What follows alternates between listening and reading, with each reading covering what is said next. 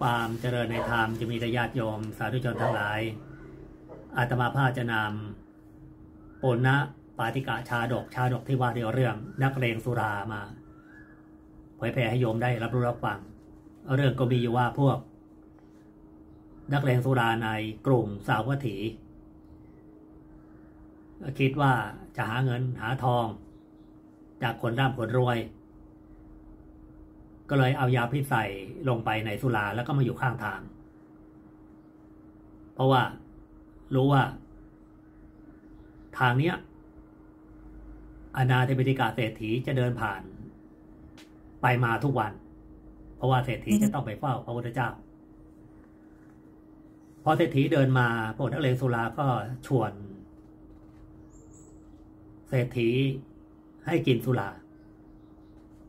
เศรษฐีก็สงสัยว่าในสุรานี้น่าจะมียาพิษอยู่เป็นแน่ เพราะว่า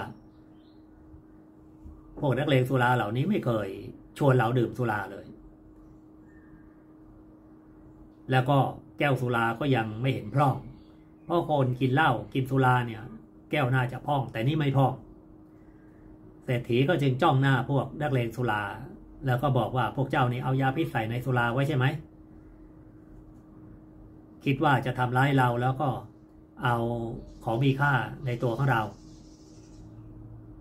พวกนักเลงสุราพอได้ยินคำขู่อย่างนั้น ได้ยินคำพูดรู้ทันอย่างนั้นก็พากันแตกหนีไป ส่วนเศรษฐีก็ไปเฝ้าพระพุทธเจ้า แล้วก็เล่าเรื่องราวเหล่านั้นให้พระพุทธเจ้าได้ฟังพระพุทธเจ้าก็ตรัสว่า ในอดีตก็เคยมีมาแล้วท่านเศรษฐี ในสมัยหนึ่งมีเศรษฐีคนหนึ่งเดินผ่าน ก็มีนักเลงสุราเรียกให้ แวะกินสุรา ท่านเศรษฐีก็ ไม่ได้แวะ แต่เดินไปเฝ้าพระเจ้าแผ่นดินก่อน กลับจากเฝ้าพระเจ้าแผ่นดินพวกนักเลงสุราก็เชิญชวนอีก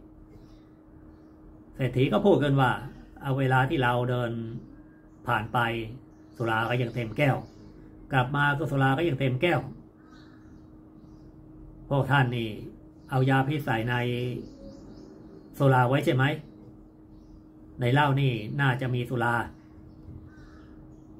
พวกนักเลงสุราเหล่านั้น รู้ว่าเศรษฐีรู้ทันก็พากันแตกหนีไป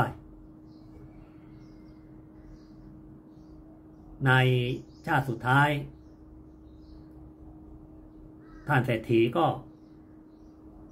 เกิดมาเป็นตถาคต พระพุทธเจ้า นั่นเองญาติโยมสาธุชนทั้งหลายพวกนักเลงสุราก็ยังเป็นนักเลงสุราขี่พ่อขี่ชาติก็ยังเป็นอยู่อย่างนั้น เศรษฐีที่ฉลาด ก็ยังฉลาดอยู่อย่างนั้น นี่เป็นเพราะว่า การทำความดีความงามไว้นั่นเอง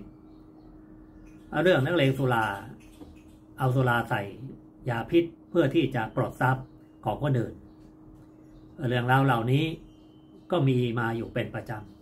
ำ ถึงแม้ว่าไม่เอายาพิษใส่ในสุราใส่อย่างอื่นก็ได้ให้คนสลบแล้วปลดเอาทรัพย์สิน ในปัจจุบันนี้ก็มีให้เห็นอยู่ตลอดวันเวลาจะผ่านไป กี่ร้อยปี กี่พันปี พวกป้อนพวกจี้พวกที่จะลักทรัพย์สินของคนอื่นก็มีอยู่